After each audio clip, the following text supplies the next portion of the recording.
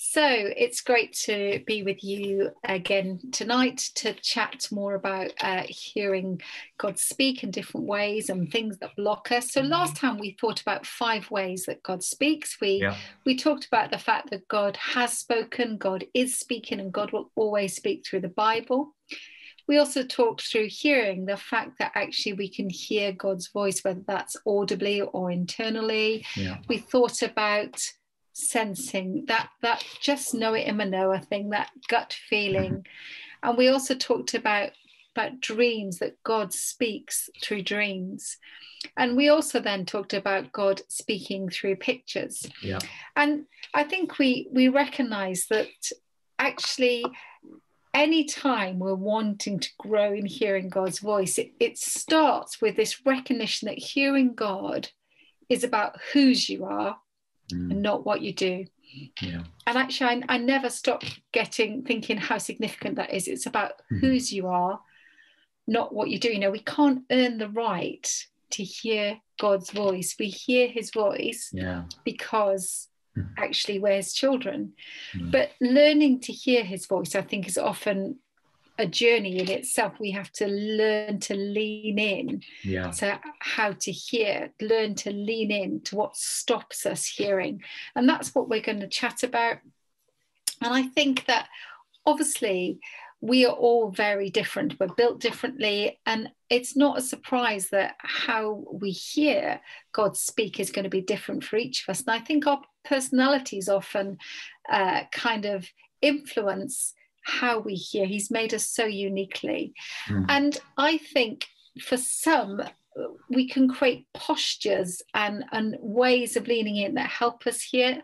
And for some of us, for example, it, it's quiet moments of contemplation is when they hear God speak. Others, it's it's absolute noise, isn't it? It's worship. Yeah. Um, it's walking, and there's no one size fits all. And I think often in the Christian life, we've kind of said there are the kind of good Christian way of doing things. Yeah. But actually, I think if we lean into the way we're created, we really can make it easier for ourselves to hear God speak. Now, anyone that knows me well knows I don't really, I'm not great at sitting still. I can do it if I have to, but I generally can do it. But I love movement. I'm built for things to keep moving. And so, actually, for me, hearing God when I'm outside in nature really helps me when I'm walking or running.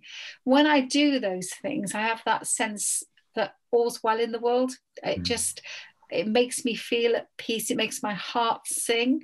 And i think when we do the things that make us feel at peace that make us our hearts sing in essence it's so much easier to hear god speak because we're yeah. approaching it not from striving from from a place of peace and comfort. So what about you matt? What helps you? What posture yeah. helps you hear god speak no, I think I think you're right. Just yeah, we just kind of put ourselves in the places, uh, and we get start to recognise that as we try all kinds of different things, really. But um, I would yeah. I would echo yours, uh, nature. Um, I definitely um, it's, it's I, I kind of need this. I need a kind of space, really, is what I would kind of uh, do and, and, and, space can be outside we love going walking beside the seaside side. sometimes we, we me and joe will, just say i just need to go and hear the waves and because that's kind of a, a, an area but I think, um, uh, or even just sitting in the garden, there's a, there's a, I, I do actually enjoy a, a, stillness so that actually my mind can be mm. still. And that's really yeah. when my mind is still, um, that's when I can kind of hear God a, a, lot better. And that can be through, through the nature, but um, also through um, listening to, to worship music, actually. I mean. I just, when you were speaking, I was remembering um, like the last prayer room. And I, I, remember, and this is the first time I've done this, I literally spent about a whole hour in, in the canoe or under the tent, oh, just oh, yeah. listening to listening to a kind of a playlist of worship music. And I just came out feeling amazing. I don't really, you know, there was nothing, there was a few things that God said, but it was just soaking in his presence and that was kind of through through that so have yeah. you asked joe have you asked joe for a canoe in the in the we, spare room we, we did get our one out but again but uh, yeah maybe i will yeah i can only, i can only hear god sat in my canoe so that's the way it's going to work so uh, yeah um yeah so it's similar to that so uh, walking is good but it's more about the space element rather than the, the movement element for, for, yeah. me yeah. yeah Fantastic. Um, yeah, so um, we can talk now really about um, so the things that make our hearts sing, and now we can talk about maybe the things that stop us hearing um, God's voice. Really, yes. so um, and kind of by you know by posturing ourselves, we can kind of diminish these voices a little bit more. And I think as we come to um, recognize what those voices are, um, we that's half the battle you know once yeah. you recognize them. So um, you know there's a there's a few voices. So the, the first one and, and sometimes the biggest is the voice of fear. You know um, especially at the beginning you know things like saying well what if i get it wrong? What if i share something that's wrong? What if it's not from god? If it's the devil speaking to me? You know um, and this can be a huge block. Um, so you know that, that and, and understandably so. And and you have to kind of push through that a little bit and you have to have a safe space to be able to practice really. I think that's that's the key. I think sometimes there's also that fear you know what if god says something i don't want to hear i think i think i've had many times like that. Yeah he might say something i don't want to know so i, yeah. I might not listen. No definitely. There's that kind of yeah. yeah. there's there's what makes your heart sing but there's also you know you know it's in your heart and just god's brought it out. Yeah. Like, yeah. That's right um, I'd rather not listen. Definitely, yeah. What I don't know can't hurt. um, and, and, of course, uh, the, the other thing as well is, you know, there's a, a voice of, of unbelief. Um, yeah. You know, especially, you know, this can happen at any time. You know, you might have been to church all your life and you think, well, all that person hears from. God. I, you know, I'm not going to hear from God. You know, um, he, will never speak to me. I've been coming to church for years and he's never spoken to me, or you know, um, that that kind of thing. And that can link quite closely with another voice like the voice of shame really those two can kind yeah. of cross over a little bit you know because it, it's very quick to, it's very easy to move from he'll never speak to me because i'm not good enough or i'm not a good enough christian and that kind of stuff but yeah.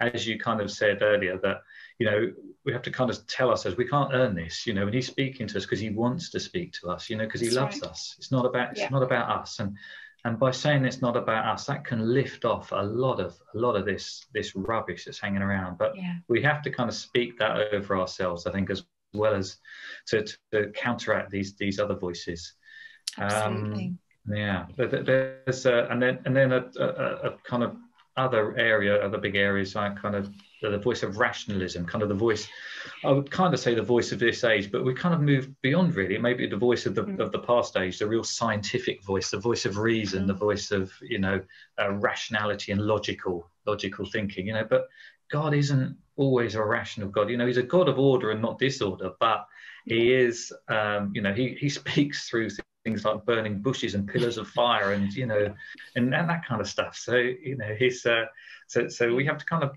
park our kind of rationalism and, and, I think kind of miracles come into that as well, don't they? Because they are yeah. supernatural, and that's you know he's he is supernatural. He's outside of the natural. He's outside of the yeah. of that. So you know, and these and these voices, as you said earlier, can really kind of be quite loud in our lives, and yeah. um, so and we have to learn to kind of that's where the posturing helps us because we can reduce those voices as well. And as we practice hearing God's voice, we get to we get to recognize that one, hopefully through the, yeah. the still small voice. Yeah, and um, it's um, which kind of what, what kind of blocks you when you're not kind of in, in hearing him speak? Then, Carrie, do you think?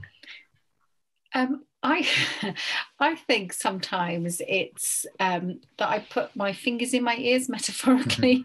yeah. I always feel like um, I sense that I almost know a bit because I, I, guess sensing is one of my strongest ways of hearing God, that actually I kind of have a sense of what He's going to say, and I might be thinking, do you know, I don't know that I want to hear that. so. I think I'll just stay in control of that for a bit longer, or maybe I'll just feel a bit petulant and think, no, not listening right now. I think that for me is a real problem, and I think sometimes. Uh, I think sometimes I think unbelief has been hard. If if you have been in, if you know, if you've been longing for something or there's been a difficult season yeah. and it doesn't quite pan out as you hope, I think sometimes it's easy for unbelief just to start to creep in. Yeah. And and before you know it, it, it becomes the paradigm by which you're hearing God speak rather, and it just becomes a block that makes it a bit more difficult, really. What yeah. about you, Matt?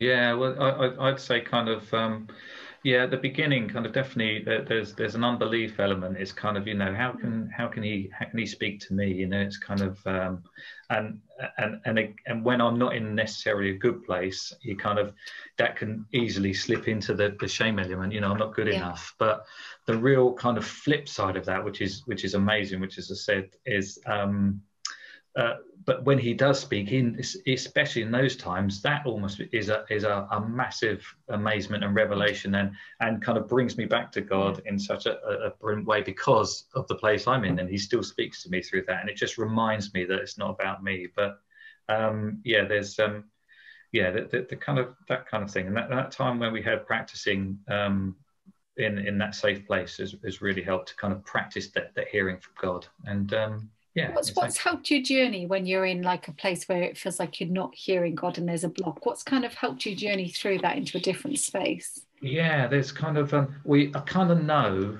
um, the kind of things i have to do to keep putting them in. And it's like um, yeah. i have to put things in place such as kind of reading the bible listening to worship music um, just pressing through and letting my feelings catch up afterwards, if you know what I mean. It's kind of like yeah. um, I'm, I'm, getting, I'm becoming more and more though, um, needing to speak truth over myself. But you know, that's mm. and that's always harder in those times anyway, because yeah. you don't feel like it, and you have to kind of press through that kind of because I don't feel like it, and but he, he can he can turn the situation around really quickly like within 20 minutes or it can be a, a, bit of a harder slog so yeah just mm. kind of finding things that I have to kind of press into to until until I get back there, and I know I will get back there eventually.